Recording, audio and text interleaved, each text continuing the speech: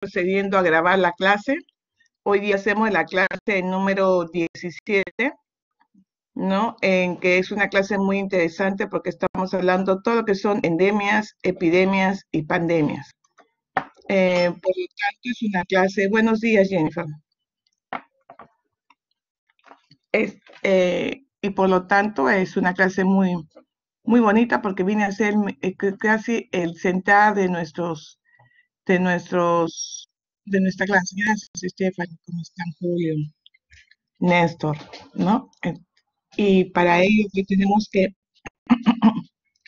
que remontarnos no desde ahora, sino de hace muchos años atrás, donde realmente miramos lo que eran las epidemias, lo hemos visto en el trayecto de todo el, de todo este semestre que estamos llevando, el gusto que tengo de estar con ustedes, en los cuales hemos visto cómo se han ido apareciendo plagas, epidemias, hasta pandemias que han azotado gran parte de, la humanidad, y no desde ahora, sino de hace mucho tiempo, ¿no? Entonces viene hasta dos mil años antes de, hasta, perdón, después de Cristo, estamos de dos mil años, ¿no? Estamos en 2020, 2021, ¿qué pasa en el 2030? ¿Qué sucederá? Y años antes de Cristo también todo lo que se ha producido. Entonces la enfermedad y los brotes no son de ahora, son de hace mucho tiempo y los hombres sabiamente han podido evitar y cortar las cadenas de transmisión que ustedes las han realizado para poderse llevar a cabo pues eh, una buena salud en todo lo que es nuestra población, en todo lo que es nuestra comunidad. Por ello es muy importante este, saber, aquí llamamos endemia, aquí llamamos epidemia, aquí llamamos brote.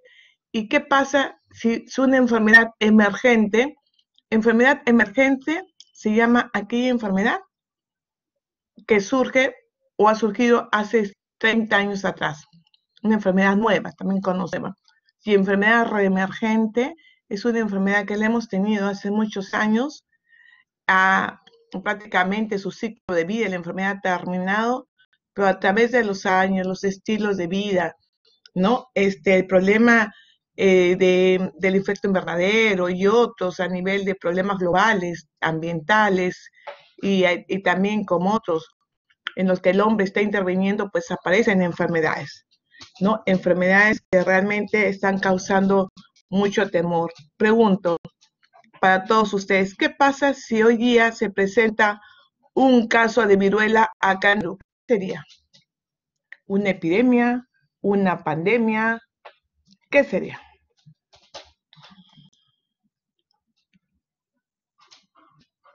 A ver, chicos, ¿qué sería?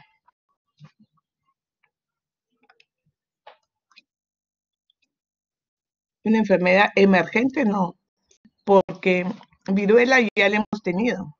He dicho que lo, lo que les estoy diciendo. Un brote ¿Qué dice? A ver, hemos dicho, por favor, los conceptos bien, ¿ya? A ver, Manuel Alejandro, una epidemia, una epidemia. es una enfermedad reemergente, muy bien, porque es una enfermedad que viene del pasado, ¿no? Que la habíamos erradicado y que hoy aparece, es una enfermedad reemergente. Y aunque sea un solo caso por esta enfermedad, es una enfermedad que es una enfermedad que es una epidemia, un solo caso que aparezca de viruela es una epidemia. ¿Ya? Bajo ese significado, señores, y con el cariño que les tengo, vamos a pasar la lista temprano el día de hoy. Muy bien, la señorita delegada está, por favor, para que me ayude. Sí está, ¿no? ¿Está? Gracias. Este, Vamos a pasar lista, ¿ya? A los, a ver, un ratito.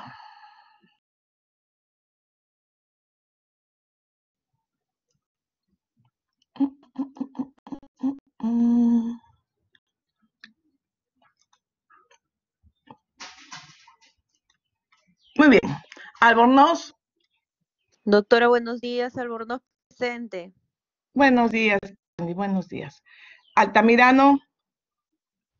Altamirano presente, doctora, buenos días. Gracias, Estefan.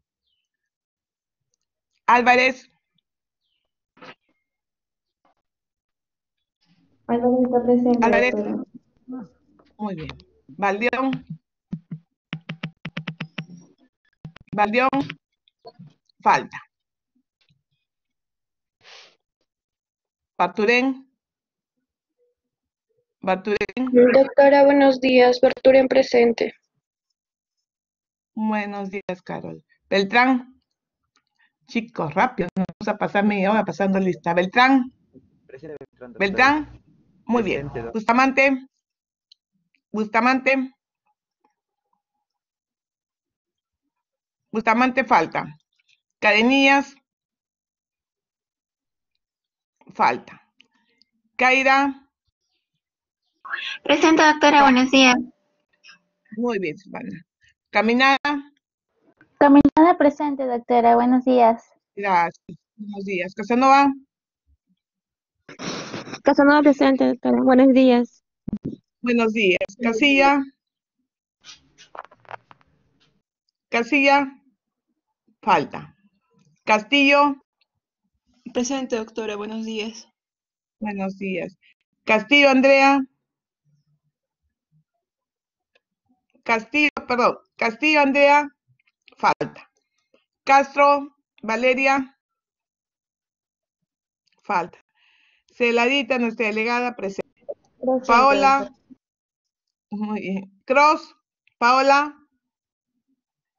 Falta. Cruz, Presente, doctora, buenos días. buenos días. Cuya. Cuya. Falta. De la gala. Presente, doctor, buenos días. del- Buenos días, Diego. Domínguez. Presente, Domínguez. doctora, Domínguez. Muy bien. Doctora, eh, cuya presente, solo que mi micro no este, estaba cargando, pero ahí le Ya, te puedes poner presente, Cuya. Muy bien.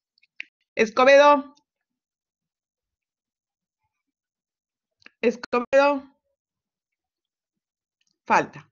Espejo. Falta. Flores. Flores. Buenos días, doctora. Falta. Presente. Joana. Muy bien. Sí. García. Muy bien. doctora. García Manuel. Presente, Muy bien. doctora. Guerrero. Ya, García. Buenos días. Guerrero Manuel. presente, doctora, buenos días. Guerrero. Buenos días. Guerrero presente. Gutiérrez. Falta. Gutiérrez presente, doctora. Muy bien. Guzmán. Néstor. Guzmán presente. Néstor. Doctora. Sí, Néstor presente, doctora. Buenos días. Presente. Muy bien. Hidalgo, buenos días. Hidalgo. Hidalgo. Presente, doctora, buenos días. Muy bien. Buenos días. Huerta. Huerta. Huerta presente, doctora, buenos días. Buenos días. Jaramillo. Jaramillo.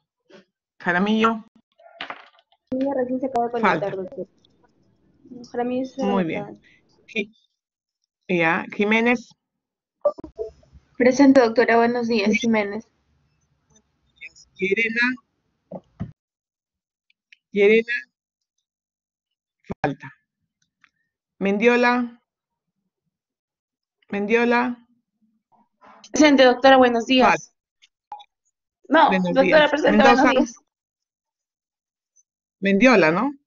Muy bien. Mendoza. Maguiña. Mendoza Maguiña presente, doctora. Buenos días. Buenos días. Mendoza Torres. Falta. Panamá.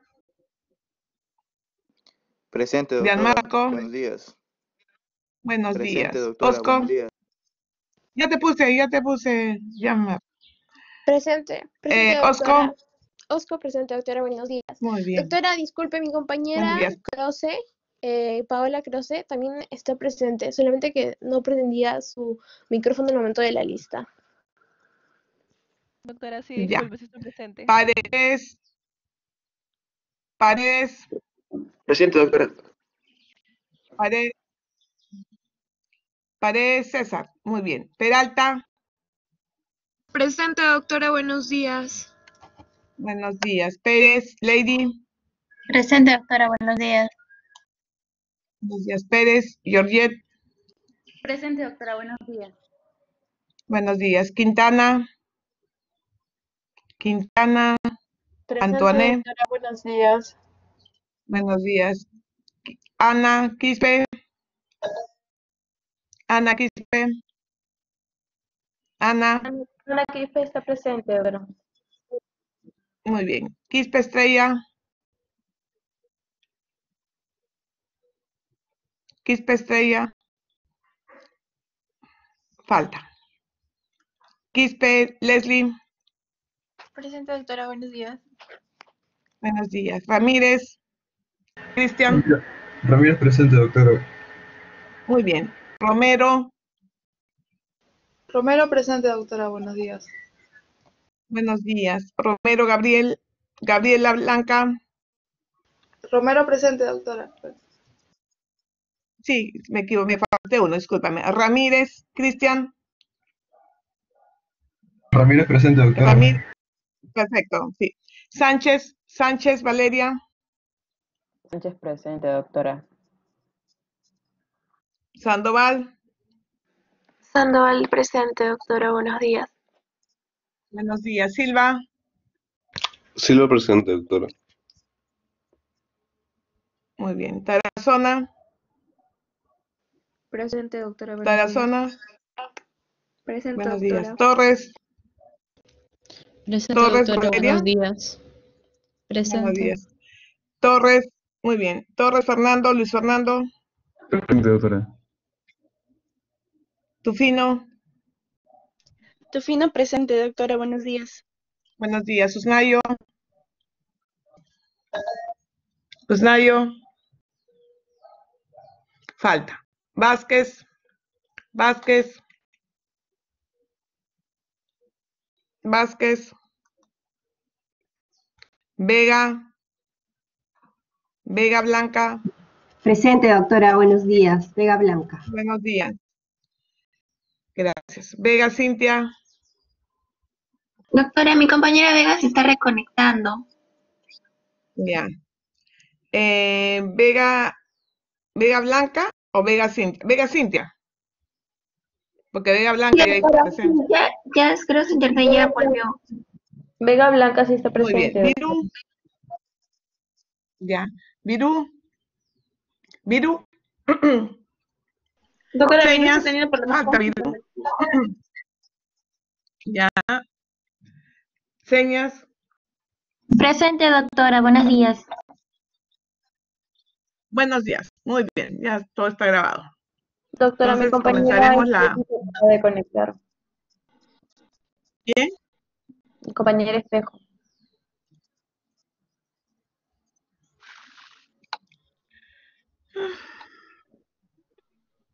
Y Bustamante. Perfecto.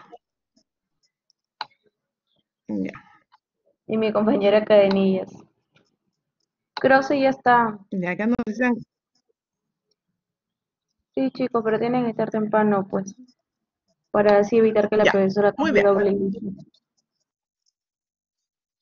Muy bien. Entonces, acá hablando sobre las- la clase número 17. Esta clase 17, como habíamos hablado desde el comienzo, porque hay que felicitar a los que están temprano.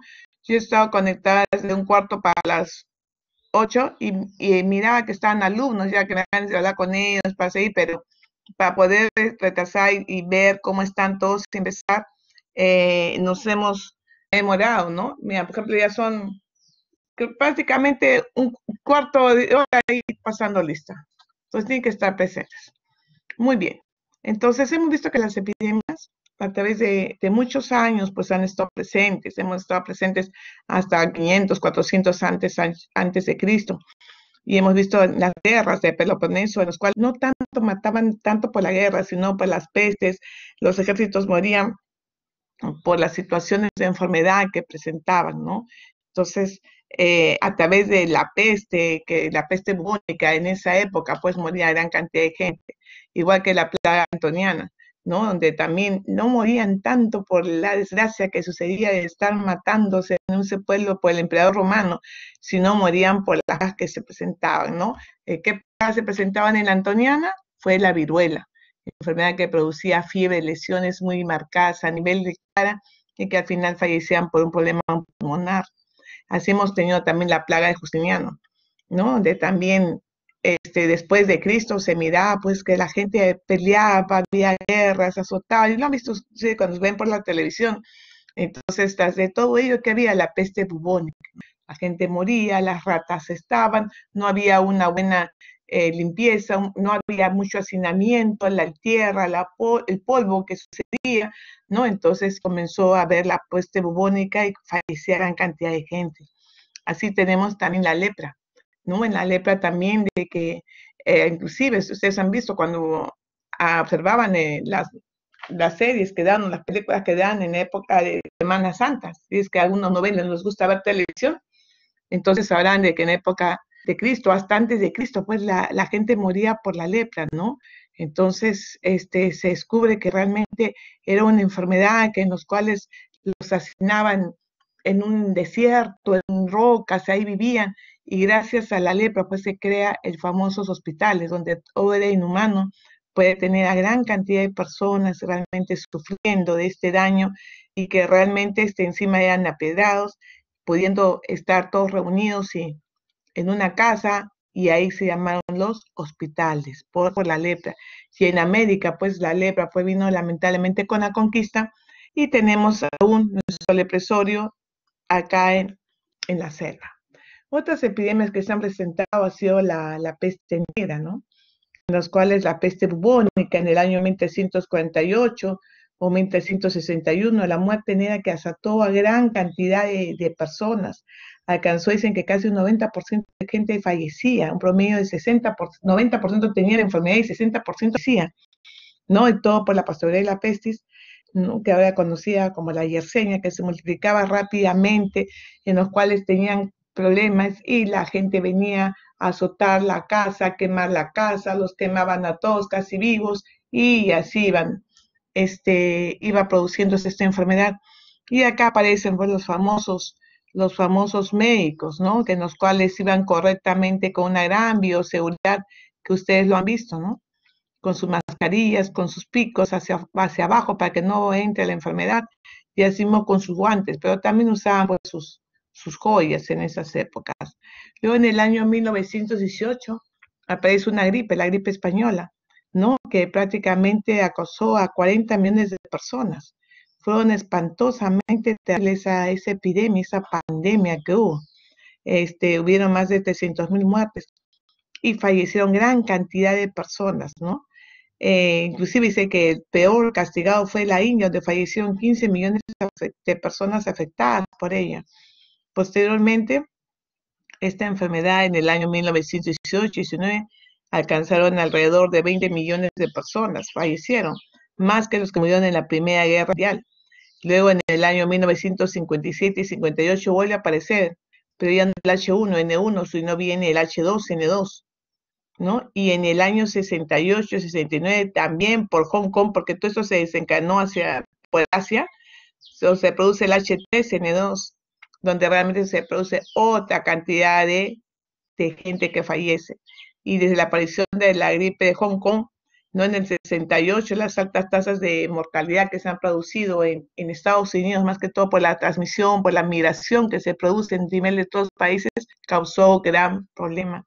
Entonces, estas eh, famosas enfermedades que hemos tenido, que le llamamos la visitación pandémica, ya han ocurrido, como hemos dicho al comienzo, no solamente desde ahora, sino hace muchos años atrás. Hemos tenido la gripe española, la gripe asiática, la gripe eh, ¿no? la influenza producida por Hong Kong, y han sido distintas este, cepas, como el H1N1, el H2N2 o el H3N2.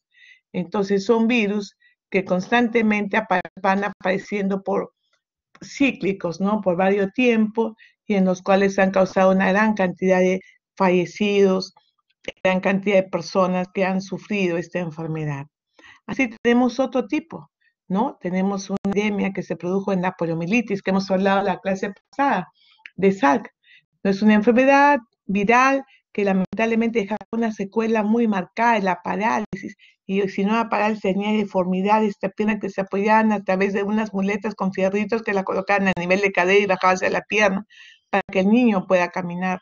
Tenía una parálisis infantil que realmente tenían que ver, ¿no? Este, a la ortopedia, porque gracias a ellos podían caminar, pero dejaba una deformidad muy terrible, ¿no? Entonces, eh, realmente la poliomielitis que hemos hablado eh, registró una gran creciente de casos y en el año 1940 al 55 se pudo elaborar la vacuna, una vacuna inactivada que gracias al doctor Saben se pudo utilizar y que hoy día hasta ahora la tenemos, ya tanto por nivel oral como a nivel intramuscular. Y no solamente hemos tenido esta clase de problemas, sino problemas ambientales, tal es lo que pasó en el Chernobyl en 1986 en que la gente este, quiere avanzar más, conocer más sobre todo estas industrias, ¿no? En las cuales pensaban tener un reactor nuclear, ¿no? Y lamentablemente que a la 1 y 23 de la mañana explotan, todo ello sale este material radioactivo, prácticamente contamina grandes extensiones, ¿no? A nivel de, de Rusia y Ucrania y afecta pues una gran población en los cuales posteriormente se vio pues que era una, un, un problema muy grave que realmente ha traído y ha permitido pues que gente muriese en el acto, otra vez otras por la gran reactividad pues han comenzado a tener problemas tanto físicos como también la presencia de, cáncer. Inclusive los estudios epidemiológicos han sido dificultados por la falta de fondos, no hay infraestructura para poder ver qué está pasando con esta gente que tiene una enfermedad crónica, ¿no? Entonces no hay una buena comunicación, dicen que han puesto un, concreto, ese concreto está a punto de reventar porque las reacciones están ahí, si salen otra vez y se rompe ese concreto, se va a esparcir por todo Rusia, Ucrania, realmente va a ser terrible, ¿no? Otra bomba que nos espera por ahí. Luego en el año 1980 aparece una enfermedad que llaman la enfermedad rosa, ¿no? En los cuales comenzó a aparecer un grave problema de salud pública en el mundo, más que todo en, países que, han, eh, que eran pues este, personas que eran adineradas, países europeos, y que lamentablemente este, se fue distribuyendo a nivel de todo el mundo. Ya lo vamos a hablar, vamos a hablar del SIDA ya más este, con mayor intensidad en otra clase, pero también gracias a los tratamientos antivirales, ¿no? Grandes personas que han padecido que tienen enfermedad y que inclusive ustedes conocen, ¿no? La gente por la televisión se está manteniendo por los antirretrovirales, ¿no? Que inclusive en el año 2012 dio un gran auge para poder dar esta terapia a, todos, a todas las personas, que realmente fueron más de 10 millones de personas que, que, que han recibido esta antiterapia. Asimismo, este, hay un informe de la ONU-SIDA de este año hasta el, 2000, hasta el 2020 que dicen que los objetivos que tenían para el 2020 no se han cumplido, ¿no? Profundamente debido al COVID-19, ¿no? Que arriesga, que arriesga desviar grandes avances del VIH, ¿no? Los cuales, cuál va a ser su complicación, cómo va a ser, porque están desviando la mirada hacia lo que está pasando con COVID y no con lo que se había planteado poder reducir pues las tasas de incidencia y de prevalencia de SIDA. Los objetivos no cumplidos han dado como resultado más de 3.5 millones más de infecciones, señores. Se están infectando más la gente por SIDA y 820 mil más muertes relacionadas al SIDA desde 2015. Entonces, esta respuesta podría retrasarse por presencia de qué? Del COVID, ¿no? Entonces hay que tener mucho cuidado y también hacer pues la vigilancia epidemiológica del SIDA, ¿no? Entonces también hubo otra enfermedad que dado al calentamiento global, a la urbanización, a la deforestación, la gente a veces entra a, territorios donde realmente eran, tenía una probabilidad de obtener enfermedades, ya que no había personas, solamente distintos animales, pero la gente por entrar van y obtienen ciertas enfermedades. Estamos hablando de una enfermedad muy marcada que es el ébola, ¿no?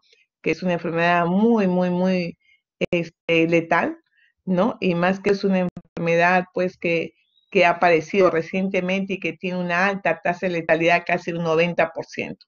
Entonces, el ébola es una enfermedad emergente también, ¿no? Donde se han producido más que todo brotes a nivel del África, ¿no? África a nivel central, a nivel occidental, pero este virus que es transmitido al ser humano por animales salvajes se propaga rápidamente por su transmisión de persona a persona a través de secreciones, no de fomites y más que todo si es de sangre. Pero dicen de que eso pues es considerado más que todo como el, el animal que contiene este virus es lamentablemente el murciélago, aunque no se tiene todavía un, eh, tratamiento específico, aún se siguen viendo sobre lo que son las vacunas, pues esta enfermedad que se detectó en el año 1976, enfermedad emergente en el Congo, pues sigue trayendo un gran problema, ¿no? Entonces, el 2014 hubo un brote, un brote muy marcado, ¿no? En los cuales perdió una gran cantidad de vida de personas que vino de Sierra Leona, se expandió por todo lado y que se pudo controlar. Qué pena que no actuamos así frente al caso de COVID. Hay un libro que les recomiendo que ustedes lean en su tiempo de vacaciones, ¿no? Es un libro que relata a través de la historia que ha tenido el Perú. Es, estoy hablando del libro de Cueto. Cueto es un autor, ¿no? En los cuales publica recientemente todo lo que es el regreso de las epidemias. Él nombra y dice todas las epidemias que han azotado al Perú dando en, el siglo XX y que pueden ser que regrese. ¿no? Él habla sobre la peste bubónica, la fiebre amarilla, sobre la viruela, el tifus, la malaria, ¿no? Son enfermedades que desgraciadamente han dejado una gran incidencia y pueden regresar en la actualidad, ¿no? Entonces, Cueto también estudia la primera vez cómo se empezó el cólera, ¿no? Y que posteriormente se azotó en todo lo que era América. Entonces, este regreso de las epidemias, este es un libro este, muy interesante, ¿no? En los cuales este, se ha visto y se compara, ¿no? Como en el año 61 se ha tenido la pandemia del cólera, en el 76 hablamos de la época de la hemorragia del ébola, la fiebre hemorrágica, ¿no? Que aparece en el 81, el SIDA, en el 91 pues tenemos el cólera, que hubo un gran brote acá en el cólera, que ustedes lo han hablado perfectamente, que inició de Chimbote, se extendió por todo lado, y que las comunidades que no tenían agua ni desagüe fueron las más afectadas y se pudo controlar bien con el correcto lavado de manos y más que todo con poder este, cortar la cadena de transmisión, ¿no? Con una buena limpieza, ¿no? Entonces, así tenemos que en el año 94 hemos tenido la peste bubónica en, en y en la India, y así aparecen las enfermedades reemergentes, enfermedades como la malaria, la peste, la cólera, que fueron hace muchos años, fueron la pesadilla y que vuelven a regresar. Si hay enfermedades emergentes, ¿no? A consecuencia de, de, de gérmenes o patógenos nuevos, tales como hemos hablado del ébola, ¿no? El de la chikungunya, del que hemos tenido, y ahora de, de los varios tipos de coronavirus. En el siglo XXI decían que íbamos a tener amenazas globales. Miren, ¿ah? se decía que íbamos a poner SARS. SARS lo hemos tenido a nivel de Asia y a nivel de Medio Oriente casi es el mismo virus, que uno es transmitido por el murciélago y el otro transmitido por los camellos, ¿no? Y aparece la influenza aviar también. Pero ahora que tenemos la, gran pandemia del siglo, ¿no? ¿Cuál? COVID-19. Y según la OMS, las enfermedades infecciosas están causando una muerte anual de más de 17 millones de personas en todo el planeta. Entonces, miren cómo regresan las epidemias, cómo se presentan las epidemias, y es muy importante tenerlo en cuenta. A través de ello, es evidente que estas enfermedades infectocontagiosas en, acá en el, en, el Perú fueron traídas a través de la conquista y hubieron eh, enfermedades tales como la lepra, la peste, la cólera, la viruela, ¿no? Y posteriormente estas enfermedades han causado una gran mortalidad. Acá pueden ver, porque cuando hacíamos esta clase, en prácticas, ustedes dictaban, nuestros alumnos dictaban las famosas charlas no preventivas de estas enfermedades infecciosas. Pero, ¿qué hacemos con la investigación en salud pública? ¿No? Este, la epidemiología presenta una gran complejidad en ver cómo están estas enfermedades, cómo se presenta a nivel de poblaciones, cómo a nivel de los distintos eh, grupos etarios, cómo aparecen, cuál es la responsabilidad cuál es la vigilancia que tenemos que hacer. Y la vigilancia es ante esas enfermedades que ya han sido erradicadas y que con vacunas como las inmunoprevenibles tenemos que estar vigilando que estas no aparezcan, tales como el caso de la difteria que hemos tenido. Entonces tenemos que tener una prevención, un control de estos problemas que realmente causan una gran zozobra a nivel de todo el país. Por lo que se requiere, tener una evaluación sistemática, buena, con buena información y, todo, y sobre todo con investigaciones rápidas y apropiadas para ver qué está pasando con esta enfermedad. Los principios de los métodos epidemiológicos que nosotros hemos hablado en la clase pasada, que es la clase 15 y 16, hemos hablado sobre dos tipos de estudios, los analíticos y los descriptivos. Los descriptivos que no llevan hipótesis, pero que esbozan una hipótesis, y los analíticos que sí llevan hipótesis, en los cuales tenemos dos grandes estudios, ¿no? Los casos y controles, señores, que son los estudios retrospectivos, y los estudios analíticos de cohorte, que estudian, que son estudios prospectivos, donde vamos a ir al riesgo relativo, de incidencia en la enfermedad. Gracias a estos estudios vemos cómo están las enfermedades y qué alertas epidemiológicas podemos tener. A través de los estudios descriptivos solamente nos basamos de la observación, como los analíticos. Ahí vemos cómo pasa la enfermedad en tiempo, espacio y persona y qué situación epidémica a nivel de las, de las semanas epidemiológicas están presentando. En el analítico tenemos aquellas enfermedades, pues, o aquellas que nosotros observamos. En el analítico tampoco nosotros no, eh, no cambiamos el curso de la enfermedad, por si acaso. Ahí solamente estudiamos si son casos y controles o expuestos o no expuestos, en los cuales observamos cómo son sus hipótesis, las interferencias, las predicciones y sobre todo cuál es la transmisión, ¿no? Eventos que pueden ser erradicados y es un relevante problema en lo que es la salud pública. Creo que un caso muy importante, casos y controles, fue el de John Snow, el padre de la epidemiología moderna, en los cuales él no descubrió el cólera, pero sí hizo su estudio de casos y controles y a través de ellos, pues, pudimos eh, realmente conocer cuál es el curso natural del cólera y poder eh, eliminar el factor que producía esta enfermedad. Así como tenemos ellos, también en los casos de investigación epidemiológica tenemos estudios experimentales y los no experimentales. En los experimentales y los no experimentales, pues en los experimentales interviene el investigador, ¿no? Ahí están los estudios clínicos que hemos hablado, estudios de ensayo, terapéuticos, preventivos, en los cuales hemos, creo que el ejemplo más marcado tenemos ahora en las vacunas, que hacemos los estudios de ensayo, ¿no? Para ver qué vacuna es la más factible, y no solamente ello, a través de pruebas. ¿Cuál es la mejor prueba molecular, serológica? ¿Cuál? La, la hago PCR o qué tipo de prueba puedo tener para que en forma más rápida pueda tener un resultado si la persona está infectada o no con COVID u otra enfermedad. Los, en comunitarios pues, tenemos los experimentales de campo, no epidémicos, a través de intervenciones como son de vacunación, para ver cómo está yendo la vacuna, realmente será efectivo vacunarse o no con la difteria, qué está pasando con la influenza. Y los no experimentales que ustedes ya lo conocen son los que acabamos de hablar, ¿no?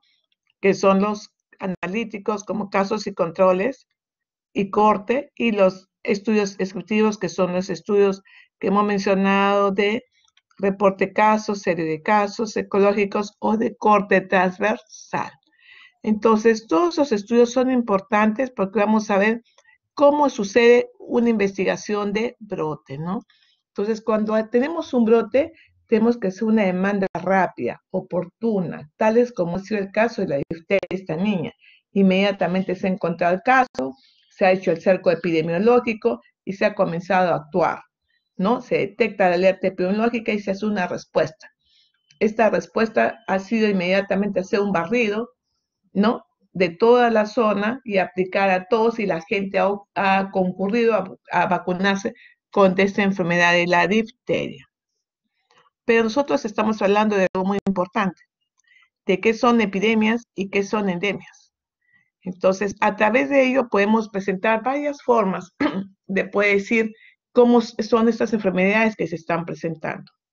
Conglomerado, por si acaso, es el agrupamiento de casos que se presenten, están presentes en un espacio, en un tiempo, ¿no? Y generalmente esa cantidad se cree que es mayor al esperado, ¿no? Es la más temprana forma de poder detectar un brote. Supongamos en un penal estamos viendo que a lo mejor se está presentando COVID y son tres, cuatro casos. ojo, ese es un conglomerado que se está presentando en un espacio, en un tiempo, y estamos diciendo, ojo, tenemos cuatro casos. Eso puede tener un gran brote. En forma esporádica es cuando la incidencia de los casos no suceda ninguna continuidad en tiempo-espacio. Puedo tener un, supongamos, un caso de difteria, supongamos, ¿no? Acá en, en, en La Victoria, otro caso de difteria acá en Surquillo, otro caso de difteria, supongamos, en Guaral, otro caso de difteria en forma esporádica. Endemia es la presentación de casos habitualmente que ya sabemos que van a presentar. Como hemos hablado en las epidemiológicas, a nivel de enero vamos a tener más diarreas, ¿no? Y a nivel de junio, julio vamos a tener mayor cantidad de infecciones respiratorias, ¿no? Como otras cosas, otros, otros territorios que se presentan de endemia, por ejemplo, es en la selva. Ya saben que tenemos casos de dengue, de malaria, ¿no? De leishmaniasis, dependiendo de la zona, a nivel de, Arequipa, del sur, y Moquegua tenemos el famoso Chagas. Entonces es una zona endémica de la enfermedad que siempre están presentes. Y hiperendemia, cuando la transmisión es intensa, es persistente, ¿no? Se transmite muy rápidamente. Si epidemia es la presencia de una comunidad o una región o grupo de casos que excede a la incidencia normal esperada.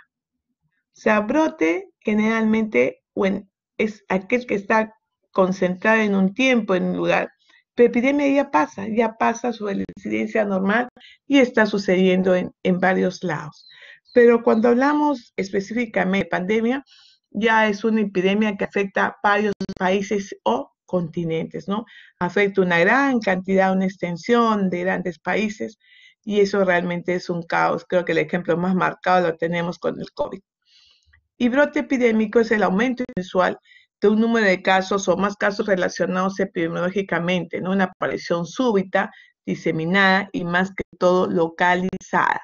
¿Qué pasa si nosotros estuviéramos eh, haciendo clase y yo le digo, miren, al próximo este partido que, que va a ganar Perú, vamos a comer un pollito a la brasa con un ají. Yo les invito el ají, y a las, nos vamos a comer un sitio y a las dos, tres horas uno comienza con diarrea, otro, a las tres horas otro con diarrea, cuatro casos con diarrea y todo lo demás. Eso se llama un brote epidémico, ¿no? Porque todos hemos comido una fuente, estamos todos juntos, es un brote, está produciendo un brote por, por algo, ¿no? Por una enfermedad, una ETA, una enfermedad transmitida por alimentos o tales también como un brote epidémico. Nace un bebito, hay una clepsiela, se infecta el niño, son uno o dos niños, es un brote epidémico. Se tiene que cerrar toda neonatología para poder evitar que se sigan contagiando más niños. El concepto de clúster o cúmulo de eventos de salud o casos de brote se define como dos o más casos que se presentan juntos, ya sea en un lugar, en un tiempo, de manera combinada, es decir, son eventos de baja frecuencia pero de carácter crónico, ¿no? Entonces, también hay que diferenciar lo que es este clúster. Pero la investigación de brotes se realiza preferentemente el responsable de epidemiología. Cuando sucede un brote, ¿no? Este, el responsable de hacer toda la actividad es el epidemiólogo. Tiene que hacer tres, tres actividades importantes. La actividad formal del evento, implantar las medidas de control y hacer un seguimiento de las dichas acciones. Por ejemplo, el caso de difteria, inmediatamente se ha visto que difteria, se han implantado medidas, hay que vacunar, hay que darle tratamiento a la persona, se le da con antibióticos, hay que hacer un cerco epidemiológico y hacer el, el seguimiento del impacto. Estas acciones que hemos tomado realmente han sido buenas, no han sido correctas, no han sido correctas, realmente hemos presentado más casos o no.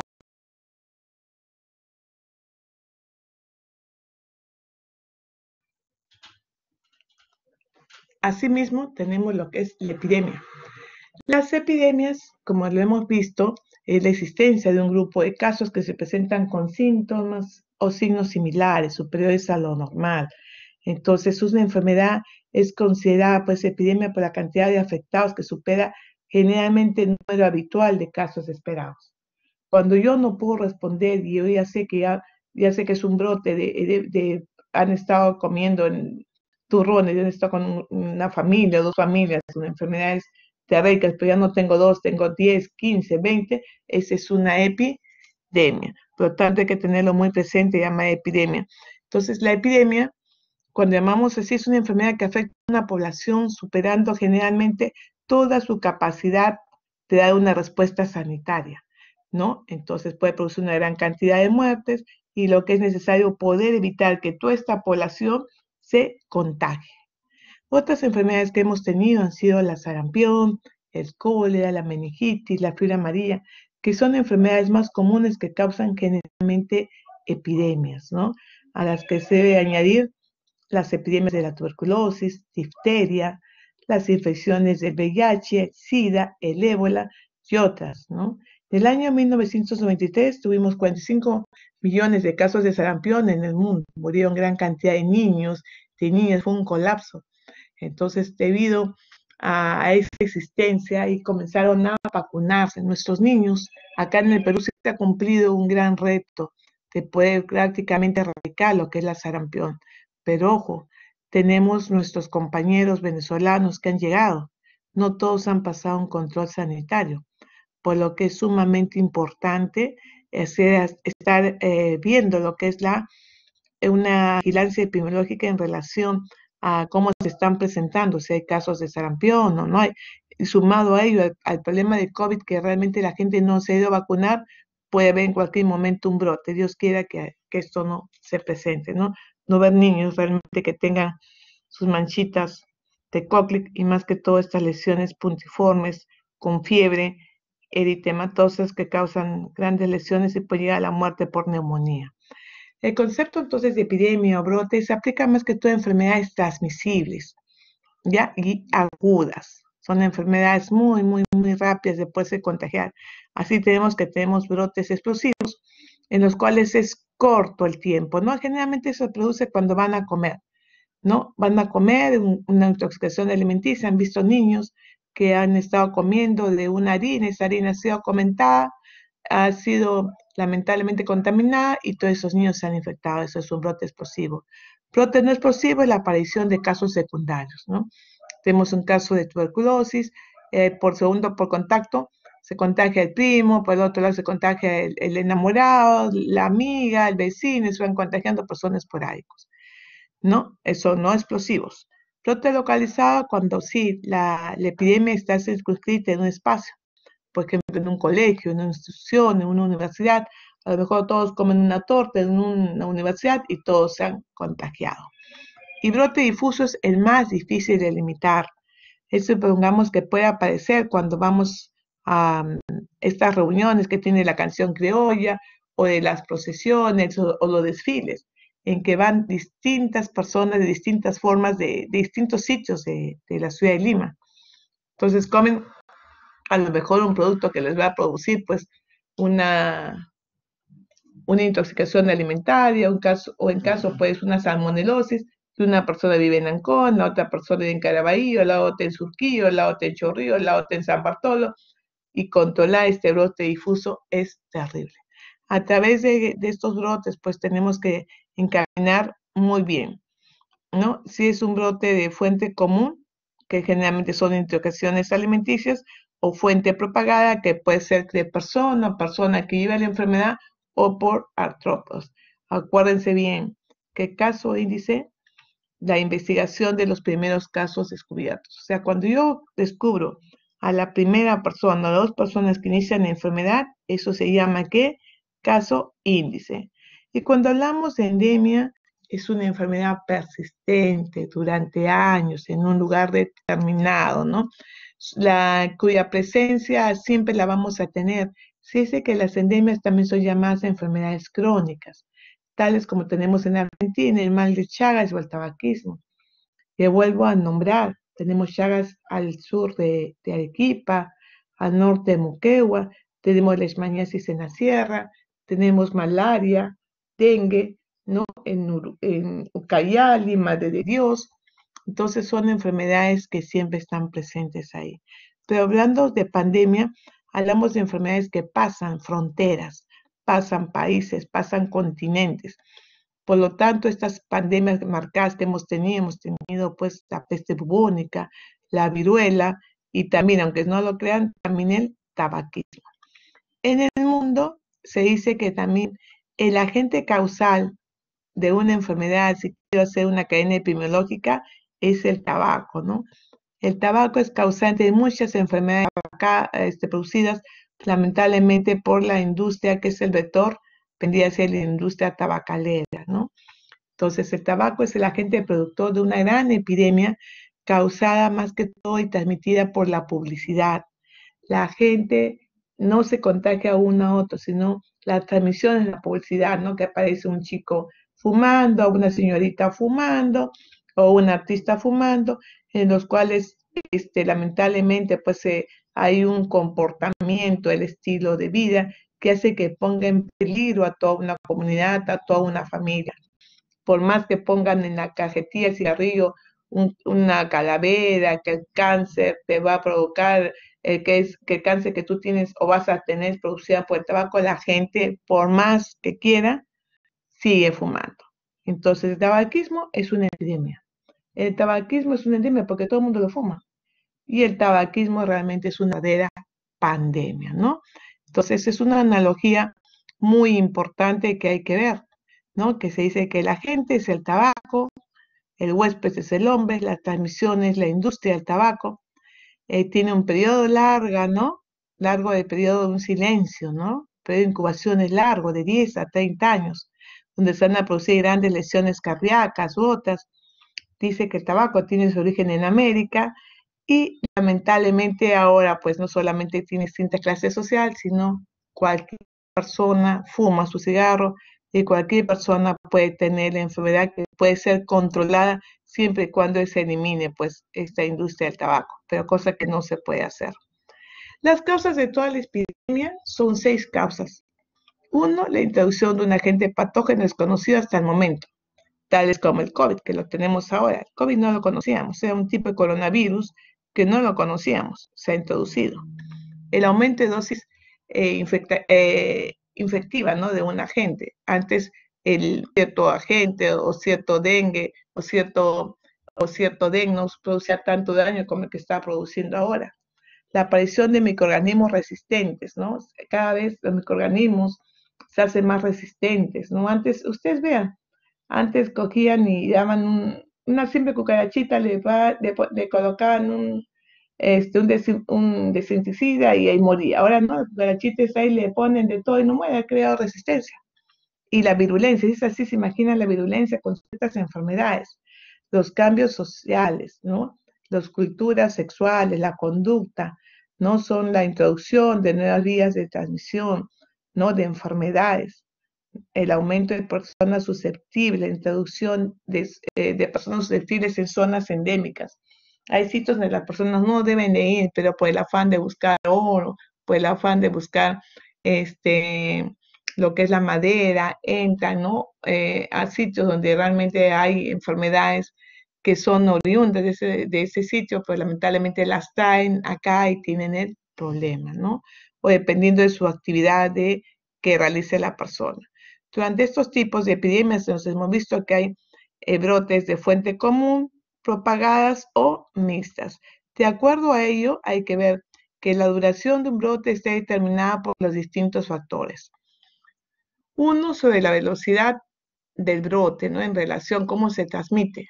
Es rápida la transmisión, uno de los casos más rápidos de la transmisión es el cólera. La intensidad de la exposición, ¿no? ¿Cuál es la población susceptible que va a tener esa enfermedad? El tamaño de la población, el periodo de incubación y la efectividad de estas medidas de control inmediato que se tiene que tener en relación a esta enfermedad que se está presentando en la comunidad. Entonces, nosotros tenemos un instrumento básico que se eh, para caracterizar un brote en tiempo, que es la curva epidémica. A través de la curva epidémica estamos viendo por los días cuántos casos se están presentando, ¿no? De COVID. El primer caso, el primer día 2, el segundo caso 3, el segundo caso 8, el segundo caso 10 y vamos viendo cómo va la curva epidémica. Otra, otras son las medidas de control inmediata frente a un brote. Estas deben estar dirigidas en tres aspectos, a través del fuente, el modo y la exposición. La fuente probable la gente que causa el brote. ¿Cuál es ese, esa fuente? Hay que eliminar esa fuente. ¿Qué está causando? Pues que realmente esta gente se enferme. El modo de transmisión probable del brote, cómo se contagian, cómo se transmite persona a persona, por picadura, por fomites, cómo se contagia. la exposición asociada a menor o mayor o menor riesgo de enfermar. ¿Quiénes son más expuestos? Los policías, los médicos, la gente que sale a la calle, las personas que van al mercado, ¿quién es la población expuesta? Entonces, esto es muy importante tenerlo presente. En relación a lo que hemos hablado, este, hay que ver si estas enfermedades son de fuente común, como les acababa de decir, o es una enfermedad que se distingue a través de dos tipos, que puede ser puntual o explosiva, que ocurre en un breve tiempo, o continua, que va, que va a estar presente de acuerdo al periodo de incubación. Esto depende más que todo del tiempo de, incubación de la enfermedad. Por ejemplo, una enfermedad puntual, explosiva, es cuando todos se alimentan de una de generalmente sucede eso y todos se infectan, ¿no? Supongamos la hepatitis A. Todos se han contagiado, todos han tomado el mismo vaso y todos se han contagiado. Y continua es cuando se van contagiando una, la otra persona y la otra y siguen contagiándose. Propagativa también cuando el, el agente infeccioso se transmite de, persona a persona. Y mixta cuando de una forma continua o, o también en fuente común. Hay elementos muy característicos para ver lo que es la epidemia. Uno es la curva epidémica que le hemos hablado, cuántos casos se van presentando, ¿no? Que es importante ver estos casos que se presentan. Y otro es sobre el canal endémico. Y hemos visto que los canales endémicos estudian las enfermedades que se han producido hace cuánto? Hace, hace cinco años atrás, cómo se ha presentado en el 2016, 2017, 2018, sé cuántas enfermedades voy a tener, voy a tener infecciones respiratorias 700, 800, pero si tengo 2000, ojo, ¿qué me está diciendo el canal endémico? Que estoy presentando un brote. Entonces hay que tener presente en ello.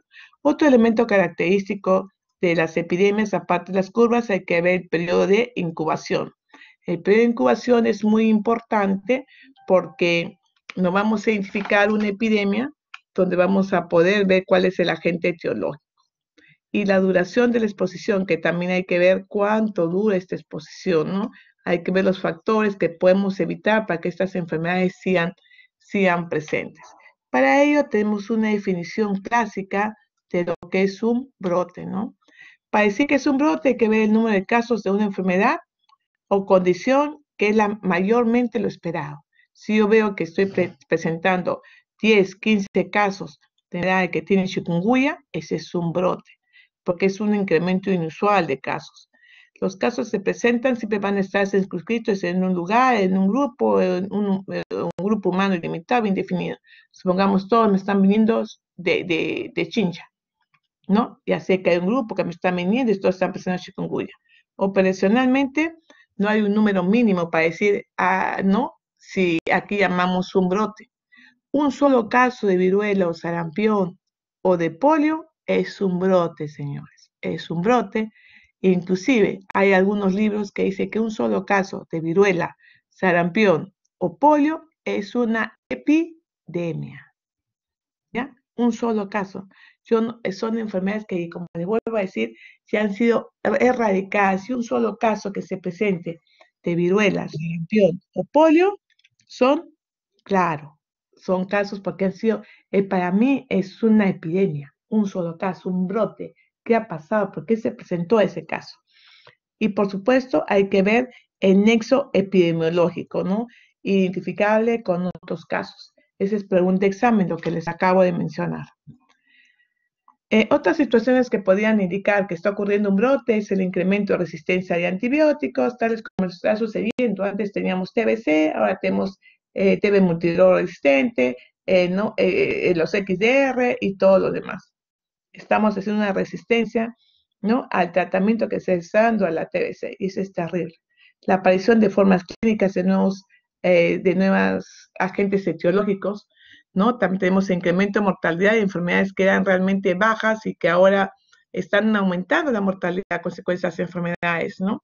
Aparición de enfermedades en animales que afectan también a los humanos. Creo que eso es lo más marcado lo que tenemos es en relación al, al COVID aparición de signos y síntomas que han sido sometidos a un tratamiento específico y que ahora no responden, la aparición o enfermedades erradicadas o eliminadas, aparición de conglomerados, hemos visto que ese grupo, ¿no? De un grupo de personas que van a hacer la enfermedad y es un conglomerado.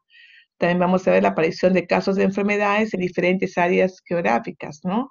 Denominados un clon bacteriano que está apareciendo acá, en el otro lado, y hay que verlo.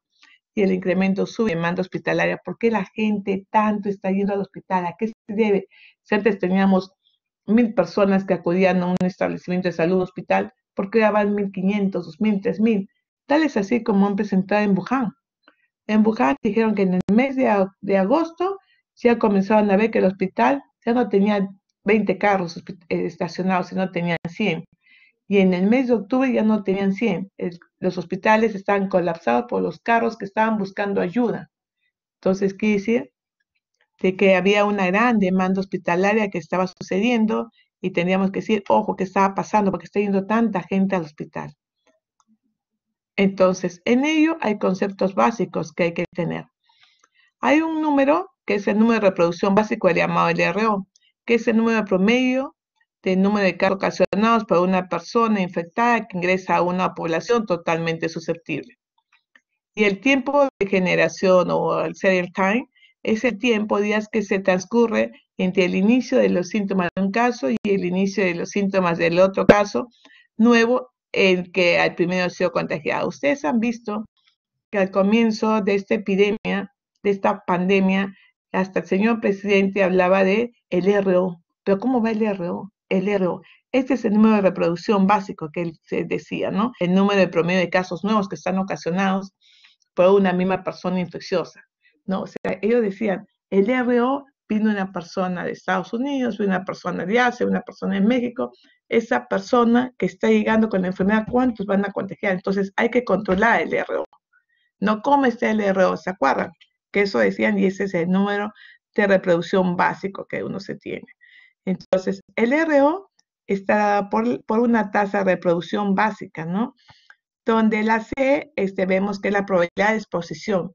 No eh, sabemos en nuevas exposiciones de personas susceptibles e infectadas por una unidad de tiempo. Hay que saber esa persona que ha tenido una enfermedad, cuántas, este, cuántos son números de personas susceptibles que puede tener contagio en un número de tiempo. La B es la la transmisión, ¿no? La probabilidad de transmisión por exposición a un infectado, ¿no? ¿Cuál es esa transmisión? ¿No? De exposición a un infectado, cómo, cómo se va a transmitir esa enfermedad. Y la D es la duración de la infecciosidad, ¿no? Es el tiempo durante el cual la persona infectada se contagia. Todo eso suma el famoso RO. Entonces, en el RO vamos a ver el número de exposiciones, que esta persona se puede contagiar, vamos a ver cuánta es la probabilidad para que las demás personas se contagien y por supuesto esta persona infecciosa cómo va a ser contagiada. ¿No? En relación a ello se les va a explicar que este potencial de propagación del RO, que es igual a 1, un caso contagia por lo menos a otro, hay que ver cómo es. Generalmente yo puedo contagiar a una persona hepatitis A, ¿no? Y la otra persona va contagiando y ese es el RO, cómo es el contagio, ¿no? Entonces hemos visto la tasa de contacto infeccioso, la eficiencia de la transmisión y la duración de esta infecciosidad. Entonces, el RO en el tiempo tenemos que ver cómo se está presentando, ¿no? Generalmente se dice que esta persona, ¿no? Este RO va a contagiar a esta persona. Y de acuerdo a ello, vemos cómo se transmite la enfermedad en el tiempo. Supongamos acá tenemos una persona, ¿no? Donde decimos que una persona, el error va a contagiar solamente a una persona. Entonces, acá tenemos la persona infecciosa. Esta persona infecciosa no puede contagiar a todos, pero sí puede contagiar a aquella persona, esta persona que es susceptible, que es susceptible. Esta persona infecciosa contagia a la otra persona, está la otra persona y la otra es susceptible y se van contagiando y miren el RO cómo va, ¿no? A través del tiempo. ¿no? Y, esto va terriblemente aumentando. Entonces, a nivel del tiempo, ¿no? La persona infecciosa, ¿cuánto se contagió? Y encima tenemos personas susceptibles que van a ser contagiadas. Y estas personas siguen contagiando y hay más personas susceptibles que van a ser contagiadas, ¿no? Entonces, si se ha visto el RO, decían que era sobre 2, sobre 3, sobre 2, sobre 3. Generalmente el RO siempre va a superar el número 1, ¿no? Decían que en esta época del COVID el RO era de 2 a 3, que una persona con COVID puede contagiar en su domicilio a tres personas, porque hay personas susceptibles que van a obtener la enfermedad. Eh, por ello, es muy importante, ¿no? La detección, hay que ver si esta detección de brote es tardía o no, y si la respuesta es ineficaz o no. Entonces, si vemos, ¿no? Acá está el primer caso, supongamos que hemos tenido la enfermedad, hay que ver la detección del, del, rebote, supongamos el primer caso de COVID, cómo ha sido la detección, no se, se, ha, detectado al, quinto día, la confirmación del laboratorio, el laboratorio se demora unos 5 o 6 días y se da la respuesta. Las oportunidades de control, ¿cómo van? Y la enfermedad sigue creciendo. Entonces, mientras más nos demoremos en detectar el brote, vamos a tener una respuesta ineficaz. Estos son los casos, estos son los días y van a seguir aumentando los casos y me voy a ir demorando en poder detectar, en reportar los casos, en confirmar mi laboratorio y mi respuesta no va a ser la adecuada. Entonces, ¿qué se debe hacer para poder reducir rápidamente este RO? Este RO que va a ser el que va a contagiar a las personas que están susceptibles, ¿no? Este es cuando hay una epidemia no controlada, no hemos detectado bien y la enfermedad continúa. Si esta es una epidemia controlada en que rápidamente se da tratamiento, se hace un cerco epidemiológico, se irá a las personas, se provoca la cuarentena y por supuesto, pues, ¿no? Esto inmediatamente se termina. ¿Cuáles son los objetivos de investigación de brote? En primer lugar, hay que ver la fuente de infección. ¿Cuál es la fuente de infección? Es viral, bacteriana, por comida, por aire, por dónde se transmite, ¿no?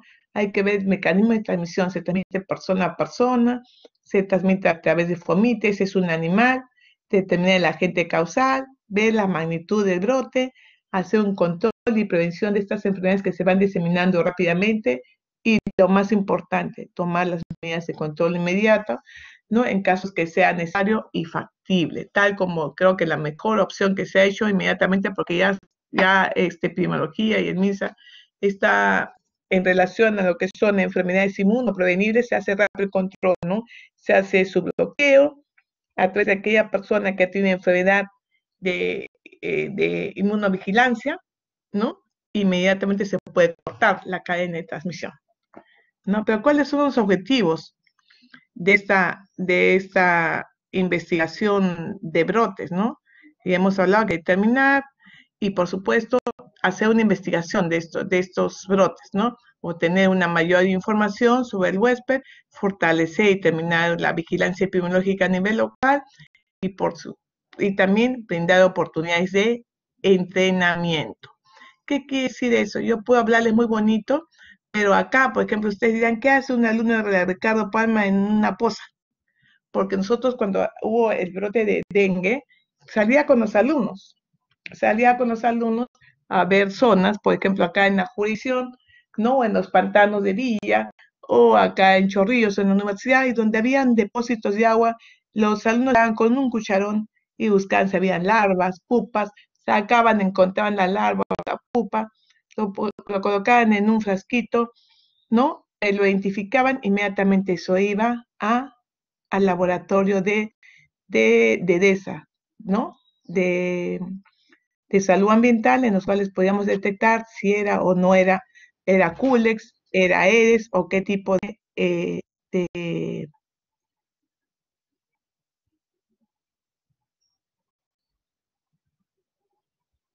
perdón, o qué tipo de, de bacteria o virus tenía, ¿no? Entonces, los pasos para una investigación de brotes, hay que prepararse, viene en el trabajo del campo, tenemos que establecer si realmente existe un brote o no. Yo para salir a ver si existe un brote tengo que primero identificar bien, estudiar bien a la persona, hacer la visita, a la familia, a la comunidad y poder encontrar si realmente es un brote. Establecer la existencia de un brote epidémico, verificar el diagnóstico, definir bien el caso, caracterizar si es un brote, implementar, por supuesto, las medidas de control transitorias, plantear una hipótesis, pero por qué puede ser un caso autóctono o es importado, cómo llegó a infectarse, cómo llegó a tener la enfermedad, porque no son mis hipótesis. Tengo que evaluar, tengo que ver de acuerdo a mis resultados, mis análisis y también implementar las medidas de control y, por supuesto, hacer protocolos de vigilancia para estos manejos de casos y, por si acaso, todo lo que se hace se tiene que comunicar para que la gente en sí pueda, tener una buena información y poner unos buenos hallazgos en relación a ello. Entonces, el control de brote es muy importante. El control de brote tenemos que ver intervenciones que terminan con un brote. ¿Cuáles son esas intervenciones? Las intervenciones de remoción de remoción de, eliminación de la fuente patógeno, si veo que realmente se me está produciendo y ahora hay más casos de, que el zancudito, ¿no? Este, la ES me está produciendo enfermedad, tengo que eliminar todo lo que tenga depósito de agua. Tengo que hacer un bloqueo del proceso de transmisión, ¿no? No tengo que tener zancudos, tengo que cerrar las ventanas, tengo que poner mallas metálicas, ¿no? Tengo que eliminar todo el depósito de agua y eliminar la eliminación de la susceptibilidad, ¿no? Si es por vacuna, medicación, en el caso de dengue no hay vacuna, no hay medicación, ¿qué hago? Solamente elimino donde están estos zancudos, ¿no? Y por supuesto, a través de medidas de protección de la familia, ¿no? Malla metálica, uso de manga larga, repelentes y todo ello. Entonces, en relación a una respuesta para el control de brotes y epidemias, hay que ver cuáles son los objetivos en nuestras estrategias, ¿no? En primer lugar, tenemos que identificar cuáles son los pacientes para un tratamiento oportuno. Y la estrategia es vigilar, eh, hacer una vigilancia epidemiológica, ¿no? Ver también cuántos pacientes más están presentando enfermedad. Tenemos que identificar por qué se está enfermando esa persona. Por lo tanto, tengo que tomar una muestra y mandar en mi laboratorio. Tengo que ver cuál es el grupo de mayor riesgo. Tengo que hacer una investigación de campo, ¿no? Hacer mis estudios epidemiológicos y describir dónde están esas personas que pueden tener mayor riesgo para obtener la enfermedad. A lo mejor esa gente no tiene agua, no hay cañerías, no hay no hay agua, no hay desagüe, entonces tienen colección de agua, entonces ese es un foco riquísimo para que este zancudo se pueda, este, eh, se pueda multiplicar y pueda tener más la enfermedad. Hay que ver cuál es la fuente contaminada, identificar los determinantes de riesgo, desarrollar las medidas de control y por último hacer una implementación de políticas públicas a través de la prevención y control, ¿no? Por eso se hace un trabajo no solo, yo no solo como médico voy a actuar, tenemos que hacer una, tenemos que hacer una, una respuesta sectorial, multisectorial, trabajar con el ejército, la policía, ¿no? Con los alumnos, con universidades, una participación de la ciudadanía, con los promotores de salud, con organizaciones, con todos ellos se tiene que trabajar. Asimismo, tenemos la capacidad local de actuar frente a un brote, ¿no? ¿Cómo podemos actuar frente a un brote? Entonces, tenemos que ver, que ver en primer lugar, detectar la alerta epidemiológica. Ustedes han visto que existe la alerta epidemiológica, ¿no? Para ver lo que tenemos que investigar. Ustedes cada vez están descubriendo y viendo que la alerta epidemiológica número 20, la alerta epidemiológica número 21, porque son, es la capacidad de poder tener una alerta, una respuesta frente a esta vigilancia de salud pública. Y tenemos que ver la capacidad de la respuesta epidemiológica, ¿no? Por supuesto, hacer un abordaje, que investigar y qué tenemos que realizar para que esta enfermedad no continúe. Entonces, la enfermedad parece tener una severidad mayor que el usual.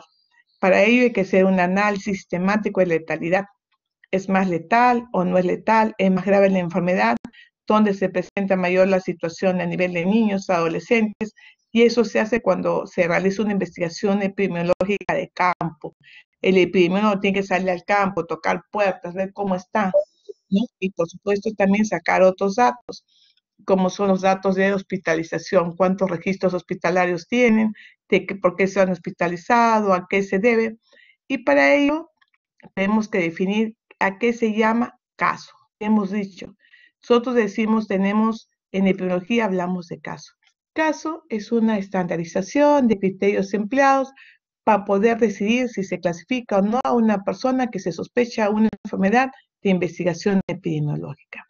Entonces, es muy importante identificar a esa persona, hacer la búsqueda de, de las demás personas que tengan las mismas características de la enfermedad y por supuesto que la definición de caso, como todo instrumento diagnóstico, tiene atributos de calidad para ser evaluados.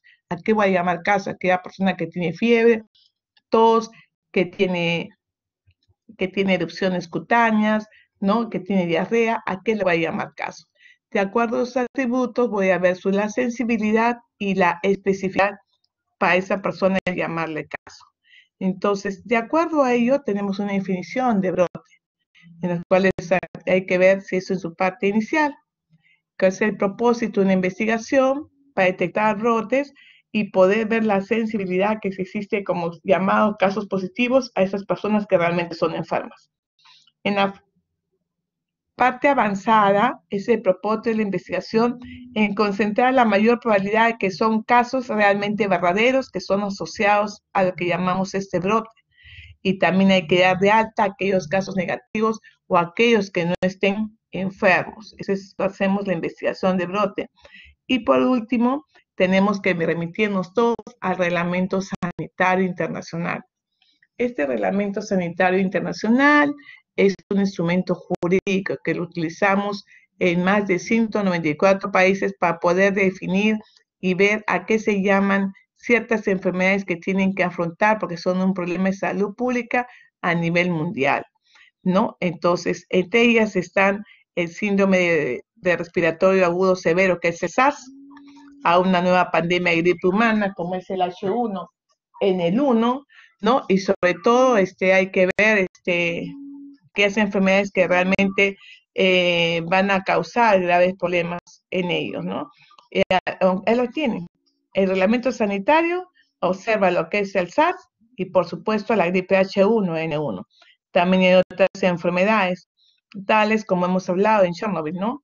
Aquellos que también pueden causar un daño a nivel de grandes poblaciones, como son derrames de petróleo, fugas, ¿no? Este, accidentes nucleares, entonces, está pensado más que todo en poder interferir que estas personas que hacen migración, que hacen comercio, pues puedan prevenir la diseminación de estas enfermedades haciendo una buena vigilancia.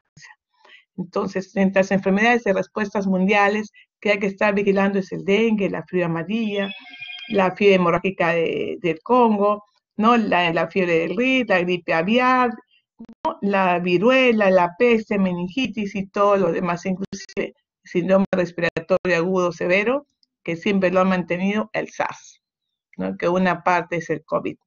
Entonces, cuando hablamos frente a una epidemia, la Organización Mundial de la Salud establece seis fases importantes para hablar sobre una pandemia. Uno es, fase uno, ningún virus de los que circula de los animales a causar infecciones en las personas. La fase 2, un virus que circula entre animales a causar infección en las personas pero que tiene un potencial de amenaza pandémica. Ya están pensando en el COVID, ¿no? A través de los murciélagos o del perro que sé que están causando. La fase 3 son casos esporádicos o pequeños focos de personas que están enfermas, ¿no? Pero no tienen suficientemente capacidad de transmisión de persona a persona. O sea, están enfermas, pero no se transmiten de persona a persona. Pasa el animal, pero ahí quedan. La fase 4 es que cuando hay una transmisión incrementada, de riesgo de pandemia, ¿no? Entonces, una transmisión de persona a persona y hay causas de brotes a nivel comunitario y hay un incremento de un riesgo de pandemia. La fase 6, el virus se transmite de persona a persona en menos dos países, que estamos en una pandemia inminente.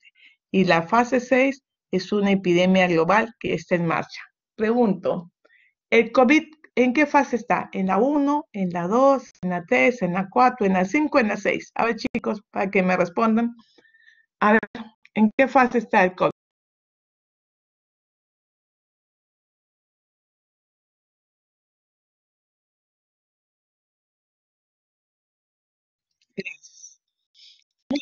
Perfecto, doctora. Perfecto, gracias, gracias, Porque se acuerdan que estamos en fase 3, ya estamos entrando a la fase 4, el virus ya está, entonces estamos en la fase 6. Lamentablemente es una epidemia global que está en marcha. Entonces, eso es muy importante que ustedes sepan el RO y también las partes de las fases de una pandemia.